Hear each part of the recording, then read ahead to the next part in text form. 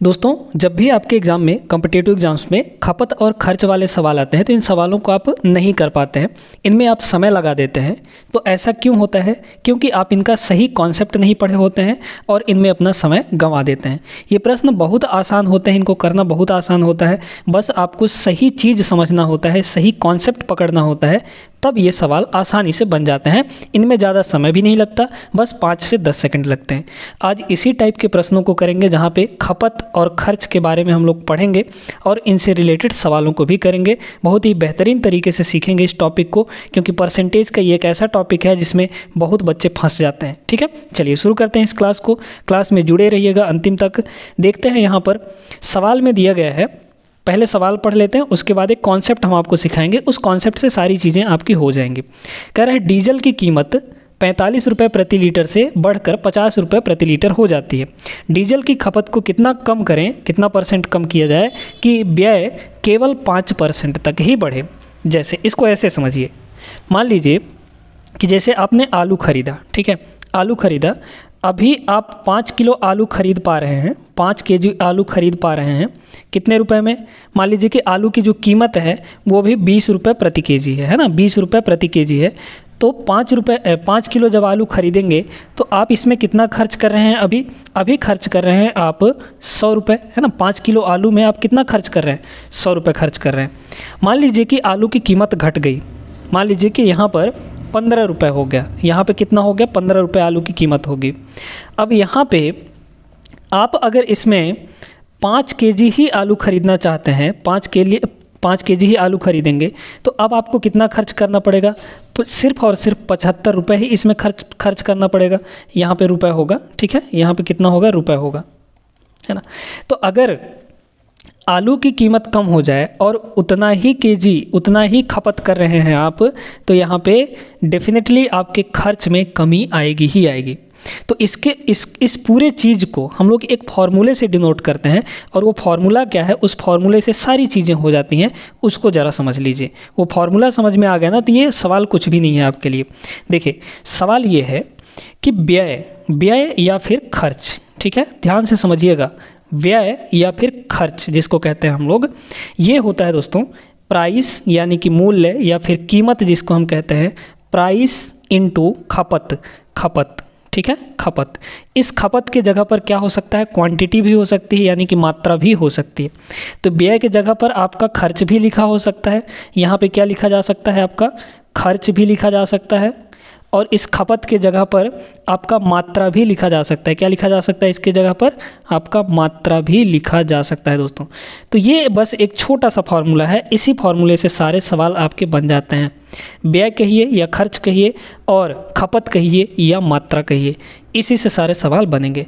अब इसको लगाने का तरीका क्या है, ये हमको ज़रा समझना पड़ेगा। देखिए, जब भी आपको सवाल दिए जाते हैं तो परसेंटेज के फॉर्म में दिए जाते हैं और परसेंटेज से हम उसको रेशियो में ले आते हैं और परसेंटेज से जब हम रेशियो में ले आते हैं तो हमारा सारा काम आसान हो जाता है।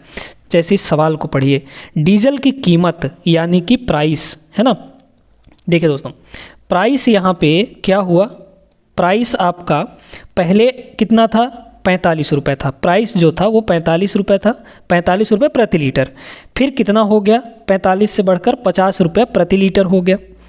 कह रहा है, डीजल की खपत को कितना कम करें? अब यहाँ पे खपत कितना कम करें कि व्यय केवल पाँच परसेंट तक ही बढ़े। व्यय जो है केवल पाँच परसेंट तक ही बढ़े। इस पाँच परसेंट की अगर हम फ्रैक्शन वैल्यू देखें, फ्रैक्शन फ्रैक्शन का मतलब भिन्नात्मक मान तो पाँच बटे सौ होगा। परसेंट का मतलब क्या होता है? परसेंट का मतलब होता है बटे में सौ। पाँच बटे सौ काटेंगे तो एक बटे बीस आएगा। तो पाँच परसेंट का मतलब होता है एक बटे बीस। यानी कि इसमें कितना बढ़ाना है हमको? पाँच परसेंट बढ़ाना है। तो शुरू में बीस रहेगा और उस पर एक की बढ़ोतरी करेंगे, यानी कि वृद्धि करेंगे तो इक्कीस में होगा अब, है ना? यानी कि व्यय को कितना बढ़ाना है? बीस से इक्कीस करना है। या फिर ऐसे नहीं समझ में आता ना तो सीधे ऐसे करिए। यहाँ पे क्या बोला है? व्यय, है ना? क्या बोला है? व्यय। व्यय को क्या करना है? पाँच परसेंट बढ़ाना है। तो मान लीजिए कि पहले सौ था और पाँच परसेंट बढ़ा देंगे तो कितना हो जाएगा? एक सौ पाँच हो जाएगा कि नहीं हो जाएगा? हो जाएगा, बिल्कुल हो जाएगा। ठीक है? इनका ले लीजिए रेशियो। आपको क्या करना है? रेशियो लेना है। रेशियो। यहाँ पर भी आपको रेशियो लेना है और यहाँ पर भी रेशियो ले लेना है। तो प्राइस का रेशियो कितना बनेगा? प्राइस का रेशियो एक सवाल आपको डिटेल में बता रहे हैं, बाकी फिर जल्दी जल्दी करेंगे। देखिए प्राइस का रेशियो क्या हो जाएगा? दोनों जो है पाँच से कट जाएँगे। पाँच से इसको काटिए, नौ बार में कटेगा। पाँच से इसको काटिए, आपका दस बार में कटेगा। यानी कि प्राइस जो है नौ से दस हो गया। ठीक है? व्यय देखिए, व्यय, खर्चा। ये दोनों आपके पाँच से कटेंगे। ये हो जाएगा बीस और ये हो जाएगा कितना? इक्कीस। है ना?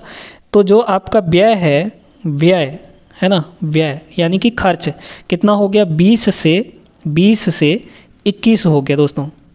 अब क्या कह रहा है कि खपत, अब यहाँ पर आपको खपत निकालना है। अगर हम इस फॉर्मूले में देखें तो खपत क्या होगा, कितना होगा? खपत इक्वल टू, खपत इक्वल टू, ये हो जाएगा, प्राइस को नीचे ले आएँगे, यानी व्यय मतलब कि खर्च, व्यय अपॉन कीमत, यानी कि प्राइस, है ना? प्राइस इतना ही तो होगा। तो खपत अगर हमको चाहिए, यहाँ पे अब हमको क्या चाहिए? खपत चाहिए। तो खपत अगर चाहिए तो क्या करना पड़ेगा? व्यय में प्राइस का डिवाइड करना पड़ेगा। तो व्यय में प्राइस का डिवाइड करिए। व्यय में प्राइस का डिवाइड करेंगे कितना आएगा? 20 में 9 डिवाइड कर देंगे। तो यहाँ पे कितना आ जाएगा? ये हो जाएगा आपका 20 बटे नौ। ठीक है? और इधर देखिए इधर भी आपका खपत निकालना है तो बी इक्कीस बटे दस हो जाएगा। कितना हो जाएगा? इक्कीस बटे दस हो जाएगा ये आपका। ठीक है? अब आपको क्रॉस मल्टीप्लाई करके इसका थोड़ा सा सिंपल कर लीजिए, है ना? कितना हो जाएगा? दस का इधर मल्टीप्लाई करेंगे तो ये हो जाएगा दो सौ और नौ का उधर मल्टीप्लाई कर देंगे तो ये बन जाएगा आपका नौ दूना अठारह, एक सौ नवासी हो जाएगा। अब यहाँ पर क्या बोला था कि डीजल की खपत को कितना परसेंट कम करेंगे? खपत आपको साफ़ साफ़ कम होते दिख रहा है। पहले 200 का खपत हो रहा था, अब एक सौ नवासी का खपत हो रहा है। खपत में कमी कितनी आ रही है बताइए तो? 200 में एक सौ नवासी घटाइए, कितने, कितना खप, कमी आ रहा है? नवासी घटा देंगे, यानी कि 11 बचेगा, है ना? 11 ये 11 किसमें से है? 200 में से, है ना? 200 में 11 की कमी हो गई। इसको परसेंट में निकालना है तो परसेंट में निकालने के लिए 100 परसेंट से मल्टीप्लाई कर देंगे। ये जा, आ जाएगा आपका खपत में कमी। दो ज़ीरो से दो ज़ीरो कटे ग्यारह बटे दो का मतलब होता है साढ़े पाँच यानी कि पाँच पॉइंट पाँच परसेंट आपको खपत कम करनी पड़ेगी। तब आप यहाँ पर अपने खर्चे को सिर्फ़ पाँच परसेंट तक बढ़ा सकते हैं। इसमें ऐसे भी सवाल दिए जाते हैं दोस्तों कि जहाँ पे बोल देगा कि आपको खपत में कितने प्रतिशत की कमी की जाए या कितने प्रतिशत बढ़ाया जाए कि आपका जो व्यय है, खर्चा है, वो ना बढ़े। खर्चा उतने का उतना ही रहे। तो उसको भी, उस टाइप के सवालों को भी हम लोग करेंगे। आगे चलिए देखते हैं। बहुत बेहतरीन प्रश्न लेकर आए हैं और ये सारे सवाल आपके प्रीवियस ईयर के सवाल हैं। बेहतरीन सवाल हैं। आगे चलिए देखते हैं। बस ये फार्मूला आपको ध्यान में रखना। बहुत इंपॉर्टेंट फार्मूला है। यहीं से सारी चीज़ें आपकी हो जाती हैं और बहुत सरल तरीका बता रहे हैं आपको करने का। ठीक है ना? दो चीज़ें दी जाती हैं। तीसरा चीज़ आपको निकालने के लिए दिया जाता है और तीसरा चीज़ हम इस फार्मूले से निकाल सकते हैं। आगे बढ़ते हैं अगले प्रश्न में। देखिए इस सवाल को। कह रहा है इसमें चीनी के मूल्य में 18 प्रतिशत की वृद्धि हो जाती है। किसी उपभोक्ता उपभोक्ता को खपत में कितने प्रतिशत की कमी करनी पड़ेगी ताकि व्यय में कोई परिवर्तन ना हो, यानी खर्चा उसका ना बढ़े। चीनी का मूल्य तो बढ़ गया 18 परसेंट बढ़ गया, है ना? 100 से 118 हो गया। लेकिन अब उसको खपत में, यानी कि चीनी कम खरीदना पड़ेगा ताकि उसके व्यय में, यानी उसके खर्चे में कोई परिवर्तन ना हो। जितना अब खर्च करता था चीनी में, उतना ही तब भी खर्च करेगा। इसका मतलब ये है। चलिए, सवाल को सॉल्व करते हैं। यहाँ पर प्राइस आपको दिया गया है। प्राइस कितना दिया गया है? देख लीजिए। 18 परसेंट बढ़ा दे रहा है। तो 18 परसेंट बढ़ा दे रहा है, यानी कि पहले कितना था? 100 था मान लेते हैं। तो बाद में कितना हो जाएगा? 118 बाद में इसका हम लोग रेशियो निकालेंगे। तो 100 से कितना हो गया ये? 118 हो गया आपका, है ना? 18 परसेंट बढ़ गया, यानी 118 हो गया। इसको अगर हम लोग काट दें तो काटेंगे तो क्या होगा? दो से कट जाएगा क्या? बिल्कुल काट सकते हैं, दो से काट दीजिए। तो दो से काटेंगे तो ये हो जाएगा पचास, और दो से इसको काटेंगे तो दो पंचे दस, और दो नवा अठारह। ठीक है? ये हो जाएगा। यानी कि 50 से उनसठ हो गया। फिर कह रहा है, किसी उपभोक्ता की खपत को कितने प्रतिशत कमी करनी पड़े ताकि व्यय में कोई परिवर्तन ना हो? अब इस चीज़ को बड़े ध्यान से समझिएगा। ठीक है? व्यय। क्या कह रहा है यहाँ पे? हम जानते हैं दोस्तों कि व्यय जो होता है, व्यय जो होता है वो क्या होता है? वो होता है प्राइस इंटू खपत, यानी कि कीमत इंटू खपत, यही तो होता है। अब इसमें कह रहा है कि व्यय आपका कुछ भी ना हो, व्यय आपका कांस्टेंट रहे। तो जब व्यय आपका कांस्टेंट रहेगा तो यहाँ पे जो प्राइस अगर बढ़ेगी तो खपत को हमको कम करना पड़ेगा। ठीक है? अगर हम यहाँ से खपत की वैल्यू निकाल लें तो खपत आपका कितना हो जाएगा बताइए तो? व्यय व्यय और अपॉन में प्राइस हो जाएगा। व्यय अपॉन में प्राइस माने अगर व्यय कांस्टेंट है तो खपत और प्राइस एक दूसरे के इन्वर्सली प्रोपोर्शनल होंगे, है ना? उल्टा अनुपात हो जाएगा। तो अगर हम यहाँ से खपत देखें, खपत खपत। तो खपत कितना होगा? प्राइस आपका 50 से उनसठ हुआ है तो खपत आपको उनसठ से 50 करना पड़ेगा। इस चीज़ को हमेशा याद रखिएगा कि जब आपका व्यय कांस्टेंट हो, व्यय ना बदले, व्यय में खर्च में कोई कमी ना हो, कोई परिवर्तन ना हो, कोई चेंजेस ना हो तो आपको प्राइस और खपत का रेशियो उल्टा कर देना होता है। प्राइस का रेशियो जो दिया है, खपत के रेशियो निकालने के लिए उसका उल्टा कर दीजिए, आपका आंसर आ जाएगा। अब इसमें कह रहा है कि खपत में कितने प्रतिशत की कमी? तो खपत भाई बताइए, कितना हो गया? खपत पहले उनसठ हो रहा था, अब पचास हो गया। पहले उनसठ हो रहा था, अब पचास हो गया। यानी कि कितने की कमी हो गई? तो आप यहाँ पर कहेंगे कि नौ की कमी हो गई।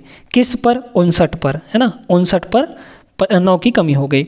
इसको परसेंट में बदलना है तो सौ परसेंट से क्या कर देंगे? मल्टीप्लाई कर देंगे। तो ऊपर हो गया आपका नौ सौ, ऊपर हो गया आपका नौ सौ, और डिवाइड में आपका हो जाएगा कितना? यहाँ पे आपका फिफ्टी नाइन है ना? फिफ्टी नाइन हो गया। इसको हमको काटना है दोस्तों। तो कितना हो जाएगा? उनसठ एक कम उनसठ तो नब्बे में अगर हम लोग उनसठ घटा दें तो इकतीस आएगा। इकतीस माने कि तीन सौ दस हो जाएगा, है ना? तीन सौ दस। अब उनसठ का कितनी बार? पाँच बार जाएगा, ठीक है? यहाँ तक तो ठीक है, यहाँ तक तो आ जाएगा, है ना? पाँच बार चला जाएगा तो उनसठ पंचे छः पंचे तीस, तीन सौ, और उसमें हम लोग घटा देंगे पाँच, ठीक है? तो पाँच घटाए तीन सौ पाँच घटा दो सौ पंचानवे आ जाएगा। तो यहाँ पे हुआ दो सौ पंचानवे, घटा दीजिए इसको तो कितना आ जाएगा? आपका पंद्रह आ जाएगा, है ना? ये आपका कितना आ जाएगा? पंद्रह आ जाएगा। ठीक है? पॉइंट लगाएँगे यहाँ पे तो ज़ीरो हो जाएगा। अब उनसठ दो दो बार जाएगा आपका। ठीक है? दो बार, उनसठ उनसठ उनसठ उनसठ उनसठ, दो बार। दो बार, फिर और कुछ जाएगा, यानी कि राउंड ऑफ़ करेंगे तो लगभग आपका कितना आ जाएगा? ये आपका पंद्रह दशमलव पंद्रह दशमलव तीन आ जाएगा दोस्तों। तो पंद्रह दशमलव तीन इसका करेक्ट आंसर होगा ऑप्शन नंबर डी यहाँ पे सही आंसर बन जाएगा आपका। ठीक है? उम्मीद करते हैं समझ में आ गया होगा। बस इसका खेल है, इस फॉर्मूले का खेल है, बाकी और कुछ नहीं है। आगे बढ़ते हैं हम लोग, अगले प्रश्न में चलें। चलिए देखिए इस प्रश्न को। यदि चीनी के मूल्य में 20 बीस प्रतिशत की वृद्धि हो जाती है और कोई व्यक्ति अपने खर्च में केवल 8 परसेंट की ही वृद्धि करना चाहता है तो उसे अपनी खपत में कितने प्रतिशत की कमी करनी पड़ती है, करनी होगी, ठीक है? तो यहाँ पे प्राइस आपको दिया गया है, कीमत आपको दिया गया है प्राइस 20 परसेंट वृद्धि हो जाती है। 20 परसेंट की अगर फ्रैक्शन वैल्यू देखें तो एक बटे पाँच होता है। यानी पाँच पर एक की वृद्धि हो जाती है। यानी शुरू में कितना होगा? पाँच और बीस परसेंट वृद्धि होगी, यानी एक बढ़ेगा, यानी कि अब कितना हो जाएगा? छः हो जाएगा। पहले पाँच था प्राइस, अब कितना हो गया? छः है ना? बीस परसेंट बढ़ गया। कह रहा है, कोई व्यक्ति अपने खर्च में केवल आठ परसेंट बढ़ाना चाहता है, यानी कि खर्च अब देखिए कितना हो जा रहा है? आठ परसेंट बढ़ेगा। खर्च आठ परसेंट बढ़ेगा। आठ परसेंट की फ्रैक्शन वैल्यू कितनी होती है? आठ परसेंट की फ्रैक्शन वैल्यू होती है चार परसेंट मतलब एक बट्टे पच्चीस तो आठ परसेंट मतलब दो बट्टे पच्चीस, है ना? काट के चाहे देख सकते हैं आप लोग, है ना? दो बट्टे पच्चीस हो जाएगा। वृद्धि करना चाहता है ना? खर्च बढ़ाना चाहता है। यानी कि शुरू में आपका पच्चीस रहा होगा, पच्चीस पर दो बढ़ा देगा वो। तो शुरू में कितना होगा? पच्चीस होगा खर्च फिर कितना बढ़ जाएगा? पच्चीस से दो बढ़ जाएगा, यानी कि सत्ताईस हो जाएगा खर्च। कह रहा है इसमें अपने खपत में कितने की कमी करनी पड़ेगी? खपत। खपत इक्वल टू क्या होता है दोस्तों?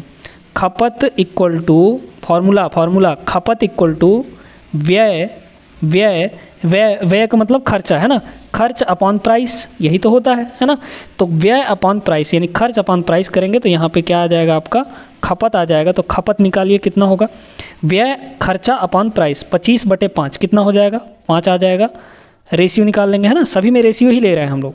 यहाँ पे कितना होगा? सत्ताईस बटे छः यहाँ पे कितना हो जाएगा? सत्ताईस बटे छः क्रॉस मल्टीप्लाई कर दीजिए। छः आपका इधर आके मल्टीप्लाई हो जाएगा तो ये हो जाएगा तीस और ये हो जाएगा आपका सत्ताईस। ठीक है? तो ये आपका खपत का रेशियो आ गया तो कह रहा है कि खपत में कितने प्रतिशत की कमी होगी, है ना? साफ़ साफ़ दिख रहा है, पहले तीस खपत होता था, अब सत्ताईस खपत हो रहा है, यानी कि कमी हो गई खपत में। कितने की कमी हो गई? तीस में सत्ताईस घटाएँगे तो कितना हो जाएगा? आपका तीन कमी हो जाएगा, किससे? तीस से और इसको परसेंट में बदलने के लिए सौ परसेंट से मल्टीप्लाई कर देंगे दोस्तों, आपका आंसर आ जाएगा। देखिए ज़ीरो से ज़ीरो कट जाएगा आपका। ऊपर हुआ तीस तीस बटे तीन, यानी तीन से तीन तो कट ही जाएगा, बचा दस आपका, यानी कि दस परसेंट। तो दस परसेंट आपका खपत में कमी करना पड़ेगा। ऑप्शन नंबर पहला करेक्ट हो जाएगा यहाँ पर ठीक है? बस इस फॉर्मूले का खेला है, इसको समझ गए तो आपका आंसर फटाक से आ जाएगा। आगे चलते हैं हम लोग अगले प्रश्न में। अगला प्रश्न ये रहा आपका, यदि पेट्रोल की कीमत 19 परसेंट बढ़ जाती है और पेट्रोल सुनीता पेट्रोल पर अतिरिक्त रूप से केवल 12 परसेंट खर्च करना चाहती है, सेम टू सेम वैसा ही सवाल है जैसा हमने पिछला वाला सवाल किया, ठीक है? प्राइस कितना हो जाता है? प्राइस, है ना? प्राइस आपका कितना हो जाता है? 19 परसेंट बढ़ जाता है, यानी कि पहले 100 रहा होगा, अब 19 परसेंट बढ़ेगा तो एक सौ हो जाएगा प्रति लीटर, ठीक है? सुनीता, खर्च कितना करना चाहती है? बारह परसेंट बढ़ा के, है ना? अतिरिक्त रूप से, यानी बारह परसेंट बढ़ा के खर्च करना चाहती है। तो यहाँ पे आपका हो गया क्या? खर्च हो गया। खर्च कितना हो जाएगा? बारह परसेंट बढ़ा दीजिए। यानी सौ में हम बारह परसेंट बढ़ाएँगे तो एक सौ बारह हो जाएगा। तो वह खरीदे जाने वाले पेट्रोल की मात्रा मात्रा का मतलब क्या हुआ? खपत, है ना? खपत, या इसको मात्रा भी कह सकते हैं। तो मात्रा कितना होगा? सौ बटे सौ। क्या होता है? खर्च अपॉन प्राइस, है ना? खर्च कितना हो रहा है? सौ सौ बटे सौ करेंगे तो एक आ जाएगा। इधर कितना आ जाएगा मात्रा? एक सौ बारह बटे एक सौ उन्नीस, है ना? खर्च में प्राइस को डिवाइड कर देते हैं तो मात्रा या खपत निकल आता है। तो 112 बटे 119 हो गया यहाँ पे, ठीक है? क्रॉस मल्टीप्लाई करेंगे 119 का इधर मल्टीप्लाई हो जाएगा। तो ये हो जाएगा 119 और 112 ठीक है? 112 हो जाएगा यहाँ पे। अब क्या कह रहा है? कितने प्रतिशत की कमी? मात्रा में कितने प्रतिशत की कमी? तो मात्रा में कितने की कमी हो रही है बताइए तो। 119 में 112 घटा देंगे तो सात की कमी हो रही है। किसमें से? 119 में से 119 में से। परसेंट में बदलना है इसको तो 100 परसेंट से मल्टीप्लाई कर देंगे। आंसर आ जाएगा। आपको निकटतम पूर्णांक में बताना है। तो निकटतम बताने के लिए 119 है ना तो 100 इसको 120 कर लीजिए। ऊपर हुआ आपका 700 नीचे हो जाएगा 120 है ना? राउंड ऑफ़ में करके बताना है एग्जैक्ट आपको नहीं बताना है। ज़ीरो से ज़ीरो कटेगा, कितना आ जाएगा ये? यह आपका आ जाएगा बारह पंचे साठ, कम हो जाएगा बारह छंग बहत्तर, यानी कि अप्रॉक्सीमेटली आपका छः परसेंट आ जाएगा। ठीक है? छः परसेंट इसका करेक्ट आंसर होगा ऑप्शन नंबर सेकंड दोस्तों। बहुत बेहतरीन तरीके से आपको सारी चीज़ें समझ में आ गई होंगी। आगे चलते हैं हम लोग, ऐसे ही दो तीन प्रश्न अभी और करने वाले हैं, जहाँ पे थोड़ा थोड़ा आपको ट्विस्ट देखने को मिलेगा ही हर एक प्रश्न में। अब इस सवाल को देखें, इसमें थोड़ा सा चेंज आएगा। क्या है? तेल का मूल्य बीस परसेंट बढ़ जाता है। बीस परसेंट का मतलब एक बटा पाँच, है ना? यानी पाँच पर एक की वृद्धि। तो प्राइस कितना हुआ? तेल का प्राइस कितना हुआ? पहले पाँच था, फिर हो गया छः ये आपको जल्दी जल्दी करना पड़ेगा, क्योंकि बीस परसेंट की वैल्यू होते हैं एक बटे पाँच। बढ़ा रहे हैं, यानी कि प्लस करेंगे। तो पहले पाँच था, अब एक बढ़ गया, यानी कि पाँच एक छः हो जाएगा। ठीक है? चलिए, कह रहा है इसकी खपत। तो यहाँ पे क्या हो जाएगा? खपत हो जाएगा आपका। खपत क्या हुआ? आठ से ही एक बटे तीन परसेंट तक कम हो जाती है। इसको अगर हम फ्रैक्शन में बदल दें तो क्या होगा दोस्तों?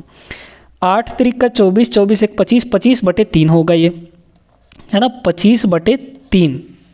अब परसेंट हटाएँगे तो बटे में आपका कितना आएगा? सौ आएगा। तो पच्चीस एक कम पच्चीस पच्चीस चौके सौ, यानी कि आठ से ही एक बटे तीन परसेंट की जो फ्रैक्शन वैल्यू आएगी, एक बटे बारह आ जाएगी। यानी शुरू में कितना होगा? बारह। और कम कर रहा है ना? कम कर रहा है। इतने परसेंट कम कर रहा है, यानी एक कम कर देगा। तो पहले खपत बारह हो रहा था, बारह हो रहा था, अब कम कर दिया उसने अपना खपत कितना? बारह में एक पर कमी, यानी बारह में एक घटाएँगे तो ग्यारह की ग्यारह। अब खपत कितना हो रहा है? ग्यारह हो रहा है। कह रहा है, इस इस पर व्यय कितने प्रतिशत वृद्धि अथवा कमी होगी? व्यय बताते हैं। व्यय यानी खर्च, ठीक है? खर्च, बताइए। खर्च का फॉर्मूला क्या होता है? प्राइस इंटू खपत। तो प्राइस इंटू खपत दोनों को मल्टीप्लाई करिए। बारह पंची ये कितना हो जाएगा? साठ हो जाएगा। अब इसमें मल्टीप्लाई करना है, क्योंकि खर्च निकाल रहे हैं हम लोग, ठीक है? यहाँ कितना हो गया? ग्यारह छक कितना हो जाएगा? छाछठ हो जाएगा। तो यहाँ पर साफ़ देख पा रहे हैं कि आपके खर्च में वृद्धि हो रही है। कितने की वृद्धि हो रही है? साठ से छाछठ हो गया खर्च। यानी कितना वृद्धि हुआ? छः का। किस पर? साठ पर। परसेंट में निकालना है। सौ परसेंट से मल्टीप्लाई। आ गया आपका आंसर। ज़ीरो से ज़ीरो कटेगा, छः से छः कटेगा, बचा दस परसेंट। यानी दस परसेंट क्या होगा दोस्तों? दस परसेंट कमी या वृद्धि? वृद्धि, है ना? ऑप्शन नंबर ए होगा, ना कि ऑप्शन नंबर सी। है ना? कभी कभी गलती हो जाती है ऐसे। आप यहाँ वृद्धि देख रहे हैं, लगा दिए कमी में, क्योंकि दस परसेंट इसमें भी दिया गया है। ठीक है? तो ऐसी सिली मिस्टेक्स मत करिएगा। आगे बढ़े हम लोग, चलते हैं अगले प्रश्न में। देखिएगा इस प्रश्न को। इस प्रश्न में थोड़ा सा चेंजेस है। क्या चेंज है? थोड़ा सा अलग टाइप का है। चावल का मूल्य पच्चीस प्रतिशत कम हो जाता है। यहाँ पे क्या दिया है? प्राइस है ना? प्राइस क्या हो जाता है? पच्चीस प्रतिशत कम। पच्चीस परसेंट का मतलब होता है, पच्चीस परसेंट का मतलब होता है एक बटे चार है ना? कम हो जा रहा है, यानी एक की कमी, चार पर एक की कमी। तो पहले कितना रहा होगा? चार। अब कितना हो गया? चार पर एक की कमी, यानी कि तीन हो गया। फिर कह रहा है, इसलिए एक व्यक्ति उतने ही खर्च में, खर्च उसका उतना ही है। तीस किलोग्राम अधिक चावल खरीद पाता है। खर्च क्या है? आपका कांस्टेंट हो गया। खर्च क्या है? यानी व्यय जो है कांस्टेंट हो गया। तो जब व्यय आपका कांस्टेंट हो जाता है तो प्राइस और खपत एक दूसरे के इन्वर्सली प्रोपोर्शनल हो जाते हैं। यानी कि खपत है ना? खपत, देखिएगा। खपत, ठीक है? खपत या फिर मात्रा इसको कह लें हम लोग, है ना? खपत कह लें या क्वांटिटी कह लें। प्राइस चार से तीन हो गया तो क्वांटिटी हम अपना बढ़ा सकते हैं कितना कर देंगे? तीन से चार कर देंगे। क्योंकि इसमें आपको जो खर्च है, वो न घटाना है, ना बढ़ाना है। खर्च नहीं घटाना, बढ़ाना है। खर्च देखिए, दोनों जगह कितना है? चार तीन बारह, तीन चौक बारह। खर्च तो आपका बराबर हो गया, है ना? तो जब खर्च आपका ना बढ़े तो प्राइस और क्वांटिटी दोनों को उल्टा पुल्टा कर सकते हैं आप लोग, बिना किसी दिक्कत के। अब यहाँ पर कह रहा है कि व्यक्ति, एक व्यक्ति उतने ही खर्च में, खर्च तो इक्वल था, तीस किलोग्राम अधिक चावल खरीद पाता है।